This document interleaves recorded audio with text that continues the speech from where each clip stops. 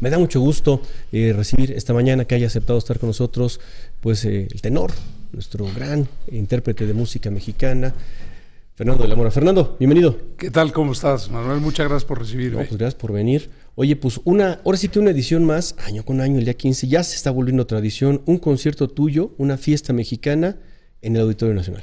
Sí, es un lujo, la verdad, es una oportunidad maravillosa para mí como artista y yo creo que también para el público, para, para reafirmar nuestro amor por México, es una fiesta maravillosa.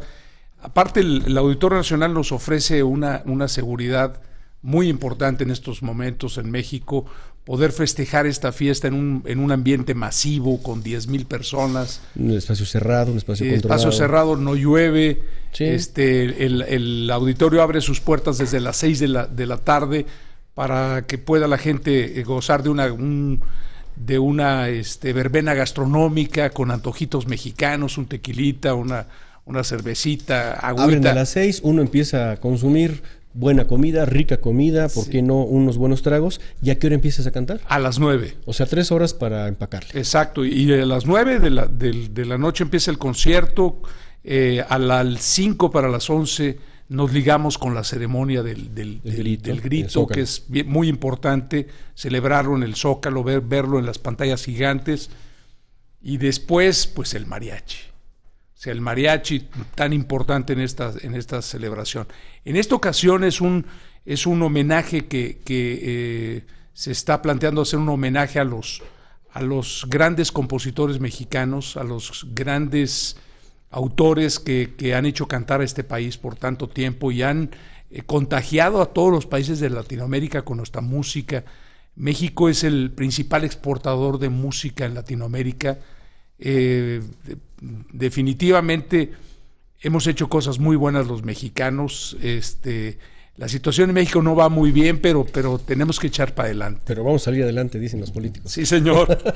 Oye, Fernando, eh, grandes, grandes, compositores. Mira, yo, yo creo que año con año, tú por supuesto que eres experto en, en la música, tú eliges tus, las piezas que vas a interpretar. Completamente. ¿no? Y, y, imagino que dices, bueno, ahora lo quiero hacer diferente, pero luego la gente queremos escuchar las de siempre, las buenas, ¿no? Y las, las van a escuchar. Las, no podemos eh, este, sacarlas las, como decimos, las de cajón, las no de podemos, cajón, sí, claro. no podemos sacarlas, pero sí mandé a hacer 11 arreglos diferentes, voy a hacer un popurrí de, de tres actores, es una sorpresa que uh -huh. no le he revelado todavía, pero es una, un popurrí de tres autores contemporáneos de música que no he incurrido todavía, que lo voy a hacer este... ¿Vas a, vas a experimentar? Experimentar, sí, pero más que nada, o sea, sé que va a salir muy bien porque la gente ama estas canciones de tres compositores muy actuales. Oye, y entonces, estos compositores, música, ¿de quién vas a, vas a incluir? Me bueno, imagino que en los arreglos que estás planteando. Exacto, de, de por supuesto que son María Grieber, que son mm. eh, Agustín Lara, infaltables, este, Gonzalo Curiel, Álvaro Carrillo, este, Luis Demetrio, Armando Manzanero, por supuesto, este, con, con, los Panchos voy a hacer este, Roberto Cantoral, voy a hacer este, Alfredo Gil, el Güero Gil. Vamos a, eh, con el mariachi, pues José Alfredo Jiménez, Tomás Méndez, Cuco Sánchez, Rubén Fuentes, estos grandes compositores que han hecho verdaderamente vibrar a México eh, con todo, ¿no? Yo siento que es importante eh, recordarle a las nuevas generaciones que hay un montón de música antes que sería bueno tomarla de referencia música de mucha calidad, música muy ligada a la poesía, muy ligada a la historia de este país. Es un concierto un poco extenuante, ¿no? Porque veo que estás, por ejemplo, con orquesta sinfónica, el mariachi, por supuesto, el gamamí, los triolos panchos, o sea, una buena celebración que empieza el, a las el nueve. maestro Gonzalo Romeo, Gonzalo. el grupo Tlenguicani de Veracruz de música Levantamuertos. Sí, este claro. hombre, este hombre Alberto de la Rosa es un maestro virtuoso del arpa y bueno, todos ellos, el Tlenguicani, todos tocan maravillosos, todos tocan los instrumentos y nos vamos a meter en, en un momento del concierto en este, la magia de la, de la alegría veracruzana de esta, de esta música con la bamba, la bruja, la vieja, todas estas canciones fantásticas. Oye, ¿y termina? Termina de después las que... de, de, las, yo creo que a, alrededor de las once y media. Y si sí logras que la gente se calle, porque luego es, es que la, moda, la, moda, por lo que he visto de repente, no solamente pedir la, la, la canción extra, sino deseabas aplaudir y aplaudir y aplaudir te obligan a salir otra vez. Sí, sales Una, otra dos, vez. me ha tocado hasta cuatro veces, ¿eh? Sí, la verdad, el- el- en el concierto pasado salimos seis veces a cantar de nuevo. La verdad es un... Pero tenemos que poner un momento en que el que Sí, acabe el estuvo, concierto ¿no? ya la gente, la gente decide. Como el lobby está abierto y sigue la verbena, este, sí sigue la fiesta. Es un momento mágico. Para mí, yo te lo digo, es, yo creo que es un momento quizá el más importante de mi, de mi carrera en el, o sea, en el, en el momento, como lo estoy planeando, es, lo veo como lo más importante que, que- que estoy haciendo.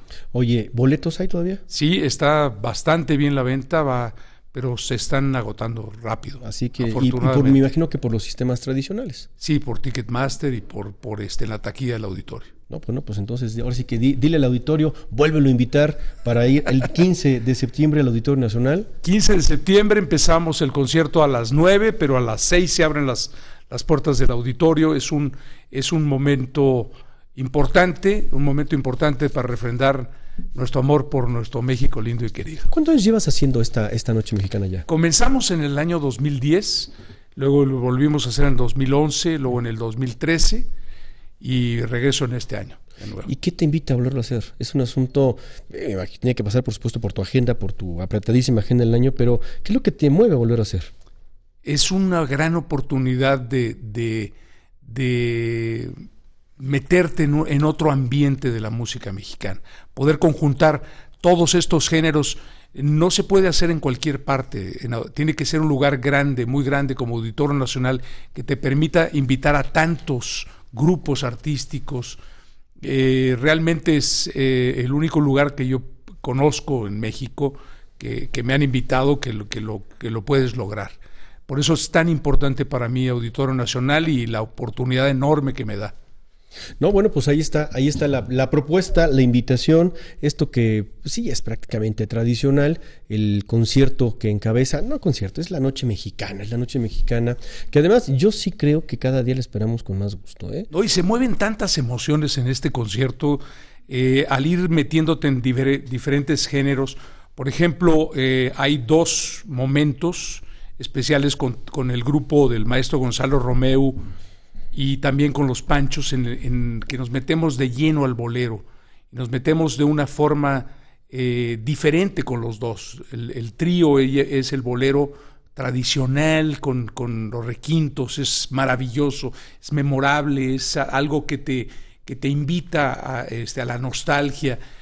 Y el otro con Gonzalo Romeo eh, te invita a cortarte las venas, o Oh, sea, es lo menos, el, con la orquesta, or- arreglos sinfónicos, arreglos sinfónicos de boleros memorables. Voy a, voy a, este, a estrenar un bolero muy particular de, de Luis Demetrio que la gente casi nadie conoce. Se llama Apóyate en mi alma. Es una canción eh, verdaderamente memorable, pero nadie conoce esa canción, la verdad, y se me hace una tristeza que una canción tan buena, tan hermosa, no, no, esté la- en las manos del, del público.